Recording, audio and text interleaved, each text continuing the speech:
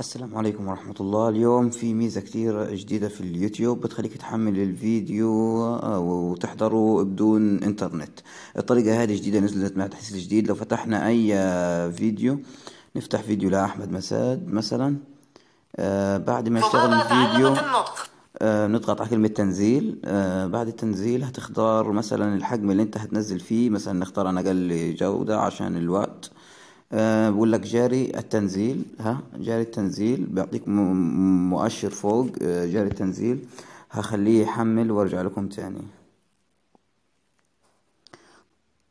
طبعا هيو تم تنزيل الفيديو. أه دلوقتي لو فصلنا إنترنت شاهدوا معايا هنا فيش إنترنت الواي فاي وقفته.